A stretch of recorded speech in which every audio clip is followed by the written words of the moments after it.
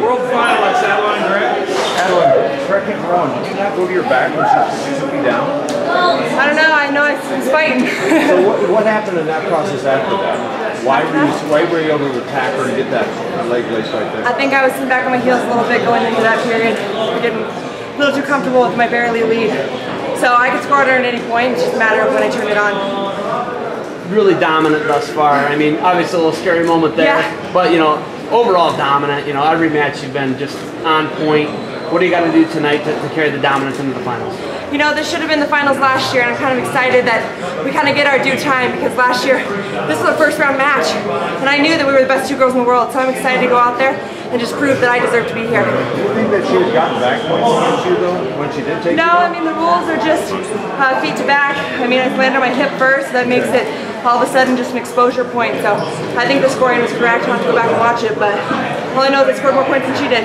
How much danger do you feel in? You know, I, I had a little moment where I was like, I'm not getting pinned out here, so I think that little moment kind of is good for you sometimes to keep it real and make sure you understand that you got to go out there and fight for every moment and every, every position. Can you talk about the effect of the uh, home crowd please? Oh, it's awesome. Seeing all my family and my friends in the crowd. Like, my best friend's uh, parents are here, and my best friend, this is the first time she's ever seen me wrestle. And so, we've been friends since we were six years old. That's when I started wrestling. I feel like she should have seen a match by now. So it's awesome that she's here on this grand stage, and my boyfriend and my family, and it's, it's awesome seeing people that I know and love in the crowd just getting so excited about this opportunity.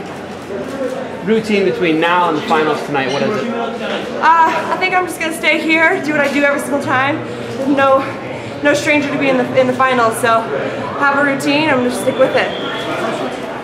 Anyone else? Hi, E6. Thank you, thank you very much. When it was, uh, you, you scored uh, eight unanswered points there when it was 2-2 and you were losing on criteria. Uh-huh. Do you get nervous at all in situations like that? Oh, or- I I'm mean- never nervous when I'm on top. I feel great there. I feel like I feel like if an artist all of a sudden got to go and paint, that's how I feel when I'm on top. There's just so many options, so many scoring opportunities. I mean, that's exactly where I want to be. So there's no nerves once I get on top. I can end matches there. Were the two points that you gave up the first two of this tournament? Yeah, I think those are. And uh, I mean, is that something that you think about? You know, No. going unscored on? I mean, these are tough girls. You can't expect to go undefeated the whole time. And I mean, it'd be nice. It's a nice thought to say that I would love to have nobody score a point on me. But each one of these girls has thrown their best stuff at me, and I have a target on my back. And I was expecting to have to battle through some some matches today, and that's exactly what she made me do was fight.